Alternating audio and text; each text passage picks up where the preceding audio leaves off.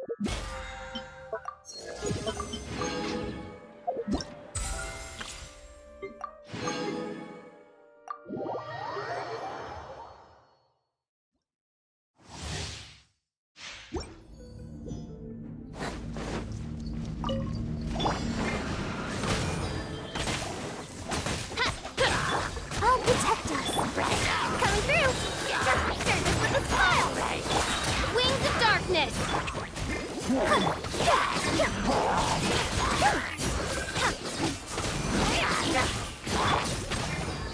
rest for the wicked. That's